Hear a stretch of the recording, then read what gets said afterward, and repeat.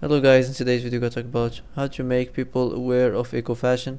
Uh, the answer is taking the time to educate yourself and others about the environmental and social impact of the fashion industry. So that's for today. I hope this is the answer you've been looking for. If you like this video, don't forget to like and subscribe and see you in the next video.